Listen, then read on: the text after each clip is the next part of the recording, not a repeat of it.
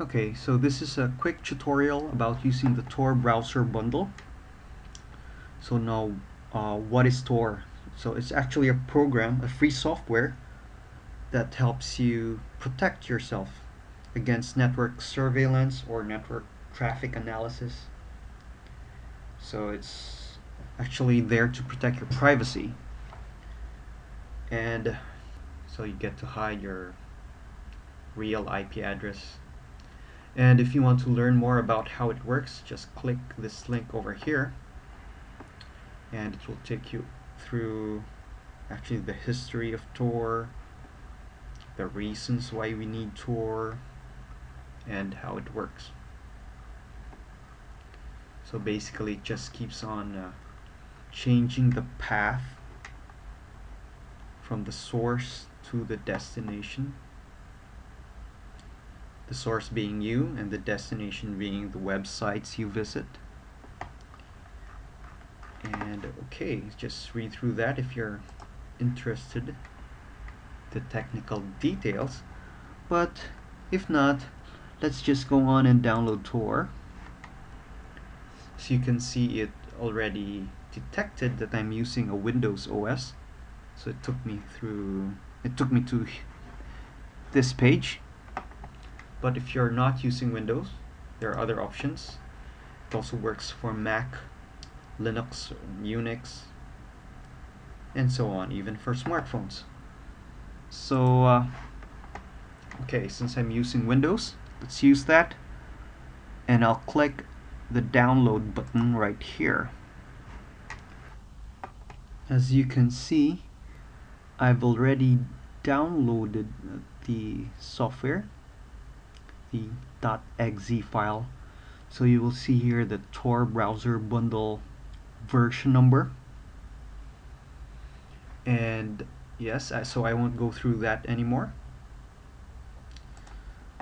so if we go to the folder where I downloaded it here it is so you can either double click that or run it as administrator or just open it. And uh, uh, the software already knows that I'm using 7-zip as my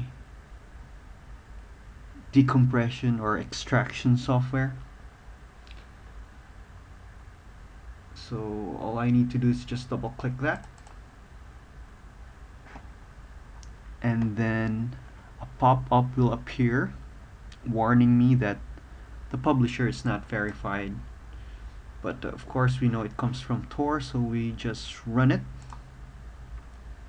and extract it to the desired location. So in this case I'm going to extract it right here in the same folder.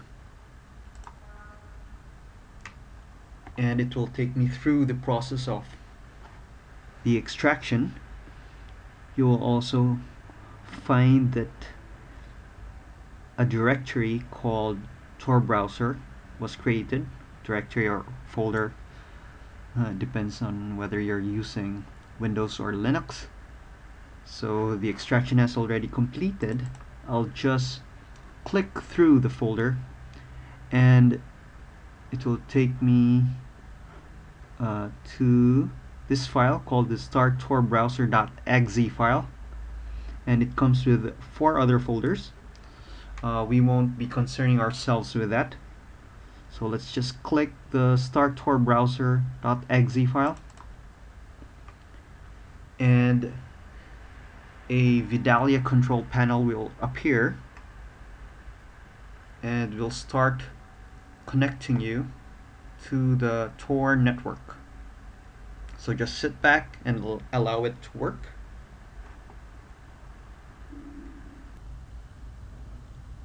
So if we so if you check the status, uh, you will find that we have already uh, connected to the Tor network. Otherwise, you will find error messages in this uh, area right here under status. Well, uh, so far so good. So let's just hide this and it will automatically pop up a Tor browser. And it's specially configured to keep your privacy anonymous. So right here uh, you are now free to browse the internet anonymously. And it will tell me what my current IP address is so right now it's 96.44.189.101 okay. So we can actually go to what is my ip.com and it will tell me what my current IP is. So I'm confident that it won't show my real IP address so it will either show this one or another IP address.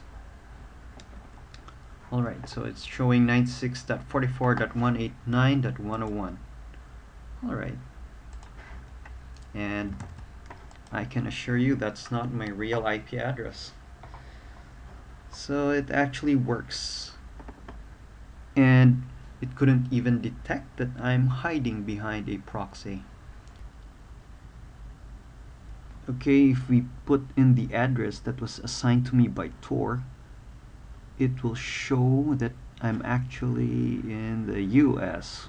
Well, I'm not. I'm in Australia.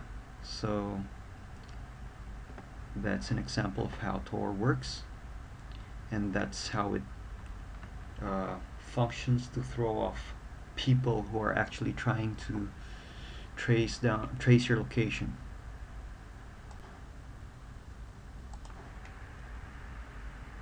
So I'm now back to using the Tor browser and you will find that my IP address has yet again changed. So that's what Tor does. It changes your IP address every so and so minutes. So that keeps it uh, more anonymous.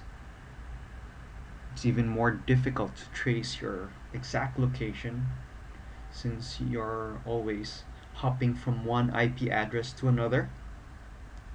Alright so I hope you learned a lot. So keep coming back for more tutorials on different tools. And have a good day.